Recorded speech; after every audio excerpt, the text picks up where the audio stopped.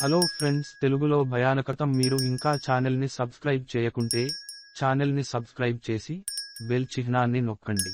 ఈ రోజు మీ కోసం నేను ఈ కథ చెప్తాను. నా కథ పేరు ఫ్లాట్లో పిల్లవాడి ఆత్మ. ఇది ఒక నిజమైన కథ. భారతదేశంలో రాజధాని అయిన ఢిల్లీ నగరం. ఈ నగరం చాలా అందంగా మరియు చాలా పెద్దది. మీరు ఒకసారి ఢిల్లీకి వెళితే మీకు మళ్ళీ మళ్ళీ వెళ్ళాలని అనిపిస్తుంది. ఢిల్లీలో సందర్శించడానికి చాలా అందమైన ప్రదేశాలు ఉన్నాయి.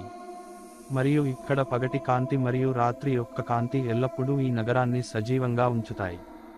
అయితే ఈ వెలుతురు మెరుపు వెనుక చాలా రహస్యాలు దాగి ఉన్నాయి. ఈ రహస్యాన్ని ఎవరూ తెలుసుకోవాలని ప్రయత్నించలేదు.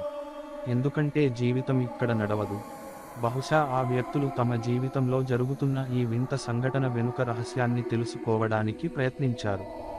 రవి మరియు అతని భార్య మరియు రమేష్తో జరిగిన సంఘటన ఆధారంగా ఈనాటి కథనం ముగ్గురు కలిసి మెహ్రౌలీలోని రెండు బీహెచ్కే ఫ్లాట్లో నివసించారు.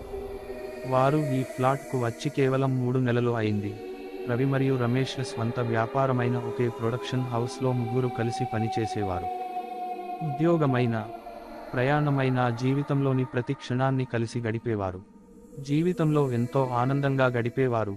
కానీ రోజు ఉదయం ఐదు గంటలకు ఆఫీసుకు వెళ్ళేందుకు నిద్రలేచేసరికి ఇల్లంతా వెలుగులు విరజిమ్మేవారు. వచ్చేనా?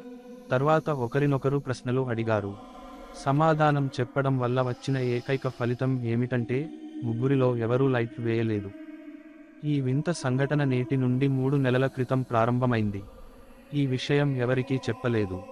స్నేహితులు తమను ఎగతాళి చేస్తారేమో అని భయపడి సాయంత్రం ఐదు గంటల ప్రాంతంలో ముగ్గురు పని నుండి తిరిగి వచ్చేవారు.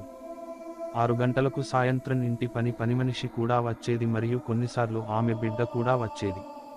అతను వస్తువులను తారుమారు చేసేవాడు కానీ తన ప్రాంతంలో బాయిని దొరకడం చాలా కష్టం కాబట్టి ఎవరూ ఏమీ అనలేదు. అందువల్ల అతనికి ఆ బాయి మరియు ఆమె బిడ్డతో ఎటువంటి సమస్య లేదు. కానీ రవి మరియు అతని భార్య బయట అర్ధరాత్రి ఇంటికి వచ్చినప్పుడు బాయి పిల్లవాడు తన బెడ్రూమ్లో ఆడుకోవడం చూసి ఆమె పిల్లవాడిని ఇక్కడ వదిలి పొరుగింటి పనికి వెళ్ళి ఉంటుందని వాళ్ళు అనుకున్నారు. అయితే రవి భార్యకు చాలా కోపం వచ్చింది. తన బిడ్డను ఇంటికి తీసుకురావడం పర్వాలేదు. ఇక్కడే ఆడుకుంటూ వేరే వాళ్ళ ఇంట్లో పని చేయడం ఆమెకు అస్సలు ఇష్టం లేదు. వాళ్ళు ఇద్దరు ఓ గంట సేపు వెయిట్ చేసి ఇరుగు పొరుగు వెళ్ళారు బాయిని కనుక్కోవడానికి మరియు పొరుగున ఉన్న వర్మ వారి మాటలు విని ఆమె ఈ రోజు రాలేదు విలువ షాక్ అయ్యారు. ఇద్దరూ ఇంటికి వెళ్ళి చూడగా మొత్తం ఇంట్లో పిల్లవాడు కనిపించలేదు. పిల్లవాడు ఎక్కడికి వెళ్ళాడు? అప్పుడు వాళ్ళకు పార్టీకి వెళ్ళాలి కాబట్టి పెద్దగా ఆలోచించలేదు. రాత్రి రమేష్ లేట్ నైట్ సూట్ వేసుకుని వచ్చి ఇల్లంతా? బాత్రూమ్ లైట్లు వెలగడం చూసి బాత్రూమ్ తలుపు తెరిచి చూశాడు. బాత్రూమ్ నిండా రక్తం ఉంది. అతను భయపడ్డాడు. అప్పుడు అతను భయంతో మెయిన్ గేట్ వైపు పరిగెత్తాడు. అప్పుడు అతను ఆ పిల్లవాడి గొంతు విని అతనితో చెప్పాడు కొడుకు ఇక్కడ ఏమి చేస్తున్నావు?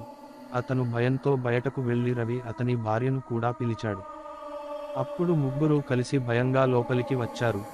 ఇప్పుడు రాత్రి పన్నెండు గంటలైంది. ఈ రాత్రిని ఎలాగోలా ఉదయం వరకు గడపాలి. ముగ్గురు సంభ్రమాశ్చర్యాల్లో ఉన్నారు. ఇక్కడ ఏమి జరుగుతోంది? తర్వాత రవి ఇంటి యజమానికి ఫోన్ చేసి విషయం మొత్తం చెప్పాడు. అప్పుడు జమీందారు అతనితో మాట్లాడుతూ కొన్నేళ్ళ క్రితం భార్యాభర్తలు పిల్లలతో కూడిన కుటుంబం ఉండేదని అప్పుల బాధతో మొదట భార్యా పిల్లలను చంపి తాను చనిపోయాడని. ఇదంతా తెలిసాక అక్కడ ఒక్క క్షణం కూడా గడపడం కష్టం రాత్రంతా ముగ్గురు చాలా భయపడ్డారు. ఆ తర్వాత ఎలాగోలా ఆ రాత్రి గడిపి మరుసటి రోజు పనిమనిషి ఇంటికి రాగానే ముగ్గురు ఆమెను అదే ప్రశ్న అడిగారు.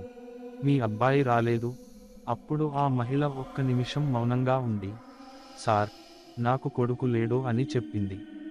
ఈ విషయాలు విని ముగ్గురు ఆశ్చర్యపోయారు. ముగ్గురు స్పృహ కోల్పోయారు. రవి మరోసారి అడిగాడు మీకు నిజంగా కొడుకు లేరా? బాయి లేదు సార్ నాకు కొడుకు లేడు. ఇది విని ముగ్గురికి చెమటలు పట్టాయి. రవి భార్య స్పృహ తప్పి వెంటనే కింద పడిపోయింది. ఇప్పుడు ముగ్గురికి అర్థమైంది. ఆ చిన్నారి ఆత్మ వాళ్ళ ఫ్లాట్లో ఉంది అని మరుసటి రోజు ముగ్గురు ఆ ఫ్లాట్ను వదిలి వేరే ప్రదేశానికి వెళ్ళారు. మిత్రులారా మీకు ఈ కథ ఎలా నచ్చింది? దయచేసి కామెంట్ చేయడం ద్వారా మాకు తెలియజేయండి. నా ఛానల్ సబ్స్క్రైబ్ చేయండి మరియు బెల్ ఐకాన్ని నొక్కండి.